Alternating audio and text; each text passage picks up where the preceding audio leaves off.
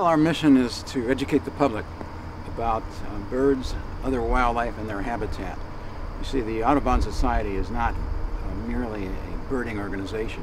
We try to educate uh, the public about conservation in a broader context.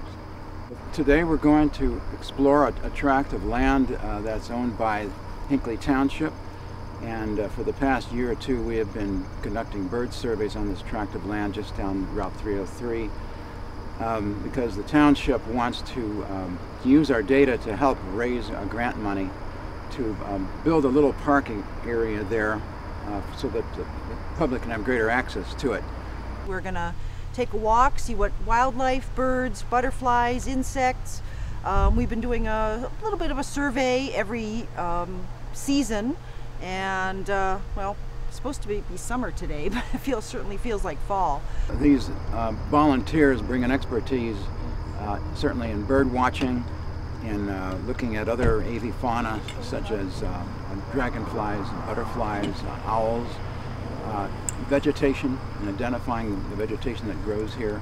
Also being experts in water quality, um, expertise in, I would say, the management of nonprofit organizations. Running an organization like this uh, that has finances and that has responsibilities to the public uh, requires a, a, a, lot of work. Yep, that would be nice to find. Mm -hmm. We're doing stuff. Yeah, absolutely. We we're, we're out there. We're trying to protect not just the the wildlife, but the habitat that the wildlife does desperately need. So preserving habitat is is what it's about. Where we are right now, Hinckley, that is all private.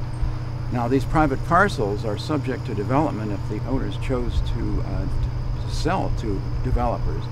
And we would like for those owners to sell to the metro parks.